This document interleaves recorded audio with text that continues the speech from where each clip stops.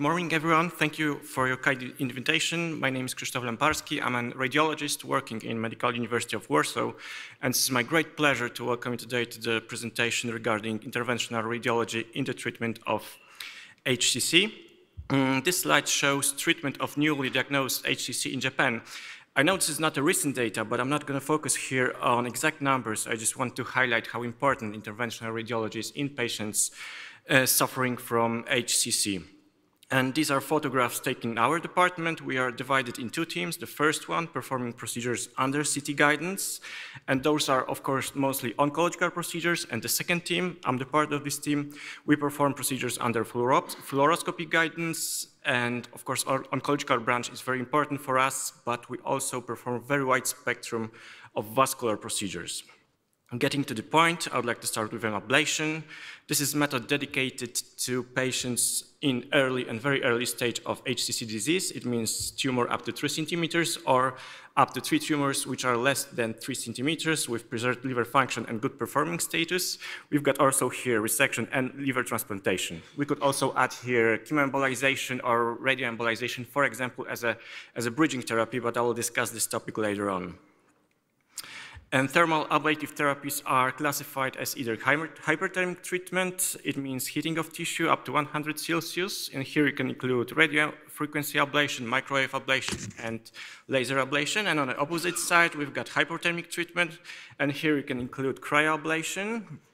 It is freezing of tissue up to minus, minus 60. And of course, most of these procedures are performed uh, with percuta uh, percutaneous approach. And as an example from our department, we can see the HCC lesion in left lobe, and this is how the ablation zone looks like after the, the procedure. Um, and this is the study focusing on comparison of ablation versus surgical resection in terms of overall survival. As you can see, there was no significant difference in four years follow-up, but I have to admit that there are also some papers showing superiority of resection in terms of overall survival. But what we know for sure is the fact that ablation causes less major complication. I don't really know where exactly does this number uh, come from. I mean here, uh, surgical resection. I believe it is too many complications, maybe complications. Maybe it was caused by a lack of experience of center performing uh, resection, or it also depends what we consider as a major complication. As far as I remember, this study was transition ascites. Mm. And this is a study focusing on survival outcomes of patients with medium-sized HCC who underwent treatment uh, with TACE or RFA or combination of these two methods. By medium-sized HCC, I mean here tumor between 3 and 5 centimeters. And we can see that the com uh, combining combination of these two methods can provide better survival outcomes. If we compare it to the monotherapy, it was 85 months versus 56 and 52 respectively. And this is an example from our department. We can see the tumor in right, uh, HCC tumor in right lobe. Uh, the, the, the, the, picture in the middle, it is uh, follow-up after two courses of TACE, and you can see that there is a still viable tissue visible. And the picture on the right, it is, it is follow-up after, uh, so, uh, yeah, we could, after, after, when we see this, follow, uh, this viable tissue, we could, of course, TACE this patient once again, but we decided to perform Uh, uh, RFA, and this is on the right the final result with no viable tissue visible. If we compare RFA to MVA, we all know that the, both of these methods are suitable for lesions which are less than 3 centimeters in diameter, but MVA can provide larger ablation zone, and this is why we can use it also in the lesions which are bigger than 3 centimeters, and in addition, it is less affected by heat sink effect, and therefore it can be used also in patients with lesions located adjacent to the large vessels. And this, is, uh, this, study, this study was focused on, the, well, the aim of this study was to uh, assess, um, assess uh, sorry, it was, yeah, the, the, the, study was focused on assessment of um, of efficacy of, uh, of MVA in lesions which are located adjacent to the vessels, over 550 patients with over high, high, uh, 600 tumors. They were divided in two groups, the first one with the lesions located less than 5 millimeters from the large vessels, and the second group uh, with lesions located more than 5, uh, 5 millimeters from the large vessels. And as you can see on the bottom of the slide, uh, the technical effectiveness was quite similar. And just to sum up, sum this part up, uh, if we got lesion up to three centimeters, we can perform ablation or resection. If there are three lesions up to three centimeters, ablation seems to be a good solution. But if there, if there are three lesions, but they are bigger than three centimeters, uh, I would rather suggest to, to perform TACE. And on the last slide, if we got medium-sized tumor, TACE and ablation seems to be a good combination, of course, if the patient is not suitable for liver, uh, liver resection. And what do we know about RFA as a bridging therapy? Mm, uh, this is the evaluation of impact of RFA for waiting list dropout rate, and you can see that this is 7%. Uh, and if we compare it with different studies we can find in the literature where uh, ablation wasn't performed, we can see this is 80%, so the difference is significant. And this is not the end of the study. It also proved that outcomes after liver transplantation are very good. HCC recurrence rate occurred in 5.6% of patients, and post uh, liver transplantation overall survival rate. It was five and 10 years follow-up, was also very good, 75 and 32% respectively. Uh, once again, about complications, this is comparison between resection and ablation. I still believe these numbers are, are too high looking at our, our experience of our, uh, our uh, centers, but this is the meta-analysis of 16,000 patients, so I believe we have to respect these numbers. But if they appear, what can we expect? Of course, hemorrhagic uh, complications like intra-abdominal bleeding, intrahepatic bleeding, or just subscapular hematoma, infection, this is obvious if you are performing procedure uh, on, the, on the lesion which is located near to the hilum, then we have to take care of biliary tract. Liver failure, especially if we perform, uh, if, we, if we ablate more than one lesion, pulmonary, especially if, for example, lesion is located in segment A8, then, then sometimes we made a, made a puncture, puncture through the pleura, vascular damage, and visceral damage. If the lesion is located next to colon, stomach, gallbladder, or kidney, then we can perform hydrodissection. Just to sum up, effectiveness comparable to resection. And I think we shouldn't consider this method as a, as a competition to each other. We should rather consider them, uh, uh treat them as a, as a, as a complementary method. It causes less complication than, uh, than um, resection. Combination of TACE and RFA seems to be a good solution for medium-sized tumors, and we can also use it as a bridging therapy. It gives uh, good results not only in terms of waiting list dropout rate, but also in terms of good out outcomes after liver transplantation, and MVA for tumors adjacent to the large vessels. I would like to move forward to chemoembolization. This is an interesting slide showing blood supply of a lesion in liver with cirrhosis. At the beginning, it is supplied mostly by, uh, by portal system, but once it evolves into HCC, uh, arterial blood supply becomes more and more important, especially pathological blood arterial supply. And this is, of course, the feature that we are using during chemoembolization and chemoembolization is method dedicated to patients in BCLC B group. This is, uh, this is of course, first-line treatment, and this is an example from our department. We can see the tumor uh, located in segment 8 with typical appearance, good uh, enhancement in arterial phase, and washout in delayed.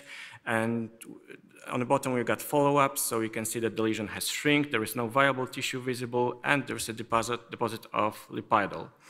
And as we all know, BCLCB group is very heterogeneous. And this is why some authors suggested that it should be subclassified.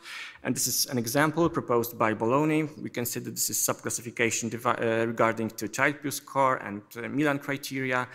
Of course, we would prefer to treat patients only in B1 group. This is, this is why, because we, we receive the best survival outcomes, but our daily routine shows that we have to treat patients in all of the, these groups, and sometimes even in BCLCC group. So on the one hand, we can say that this chemoembolization is a great method because it is suitable for so many different clinical scenarios. But on the other hand, we have to keep in mind that our outcomes can differ significant, significantly depending on which group we are treating.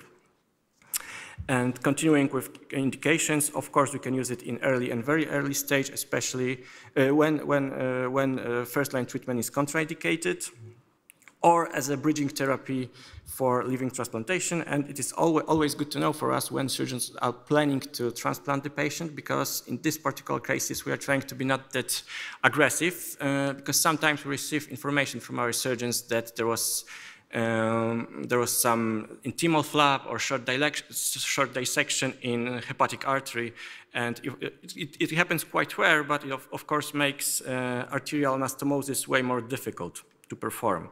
And this is how we perform our procedure, local anesthesia, small incision, then we make a puncture until we get blood outflow, we put the wire, and then the shift. Right now, we are trying to perform, to obtain radial access more and more often. It is preferred way also by our patients because they are allowed to walk immediately after the procedure instead of laying in bed like for 10 hours. And we've got two different type of TACEs. Of course, I could add here bland TACE or balloon TACE, but I believe these are the most popular. In our department, we prefer to perform conventional TACEs. It is mostly because of our big experience with Lipiodol. We really like this substance. Um, and we perform many different procedures with using Lipiodol, and it got very interesting properties. Like, for example, when we catheterize the lesion very selectively, it is able to overflow from the arterial side to the portal side. So it means that we are able to occlude the tumor from both sides. But we also use DEB-TACE, especially if the tumor is bigger than average. But this is not because of the better survival outcomes, it is because we know that it causes smaller post-embolization syndrome. And this is how the typical angiography looks like. We got uh, on, the, on the right side, we got the tumor. We can appreciate the very, very small vessels, uh, multiple vessels. We call it blush, and it's typical pathological uh, blood supply of a tumor. Uh, I'm not going to show that maybe. Okay, and this is this is how, how the tumor looks like before embolization, and on the right side we can see how it looks after embolization. At the beginning, uh, we assessed our patient by using RECIST scales, so we measured the whole tumor. But right now, we know that we ra should rather use modified RECIST scales, so we are only focusing on a viable tissue, so the tissue that, that enhanced instead of, the, instead of measuring the whole tumor, because the, the, the, the, rest of, the rest part of this tumor is filled with, with Lipiodol. And this is an example from our department. We can see the 9 centimeters tumor uh, with typical appearance of HCC, so it's good, good, enhancement in arterial phase and washout in dilate. And on the right side, we got follow-up. After two months, we can see that the lesion has shrinked and it's fully filled with, with Lipiodol. When do we decide to end our therapy? Of course, of course, if we obtain total response, like in the picture, we can see that the lesion is fully filled with Lipiodol. Uh, downstaging, so, so if we obtain downstaging, we can look for, for different options for, for these patients. And uh, what else? Tumor is TACE resistant. What do we mean by TACE resistant? It, for us, it means we perform two TACEs and then we, we follow up our patients and we see that there is no difference or even progression. Then we are looking for different, different options for such a patients Or if the new indication will appear, like, for example, portal vein thrombosis. Complications like fever, liver enzyme abnormalities, abdominal pain, vomiting, nausea, this is something what we see quite often after, after chemoembolization. But what we're really afraid of is hepatic failure. So this is why we have to always uh, study very carefully blood, patient's blood test, looking at patent, patency, uh, patency of portal system. And if we take care of that, the mortality is very low. It is 0.6%. Moving forward to radioembolization, this is method based on infusion of radioactive substances, like for example, microspheres coated with yttrium. This is two-stage procedure. And of course, these kind of substances, they emit high energy, low penetration uh, radiation into the tumor. And because of minimally embolic effect of such a procedure, it can be safely used in patients with portal vein thrombosis. This is the place of SIRT. We can, of course, use it in, BCL, in BCLCA group, uh, in patients with contraindications to, to first-line treatment. Quite the same situation looks in BCLCB group. So if we can't perform chemoembolization, SIRT seems to be a, a good solution. And, of course, BCLCC group. And here these two papers, they cast dark clouds upon radioembolization because they did not prove superiority of this method uh, comparing to systemic treatment in terms of OS in patients in the BCLCC group. Uh, but I'm not going to focus right now on the final results of this, of this, of this papers. I will try to answer the question, what might be the cost of that?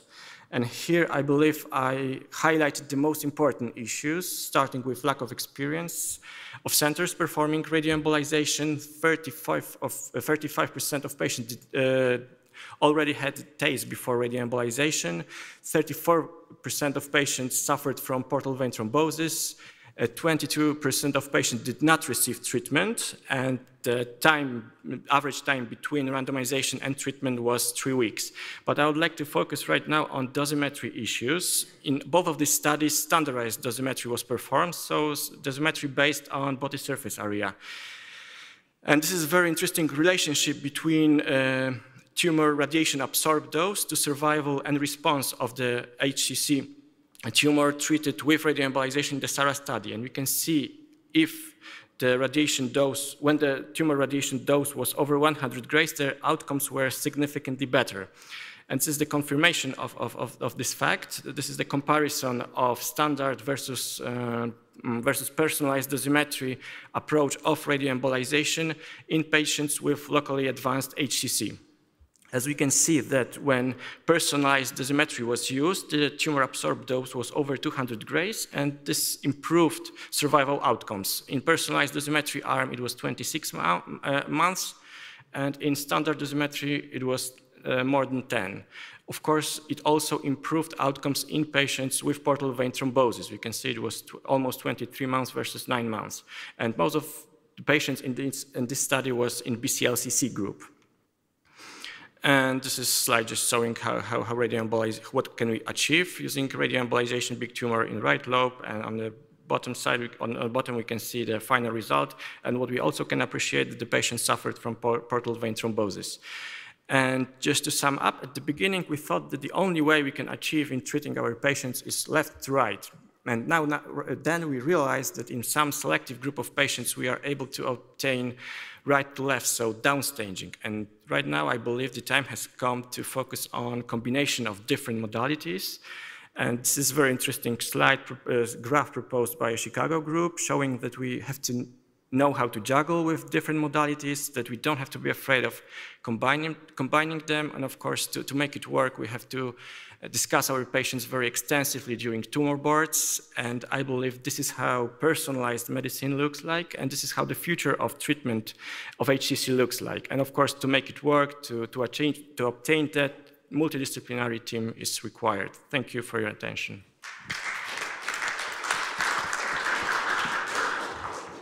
Thank you very much for this nice presentation. Additionally to the surgery, are there questions from the floor?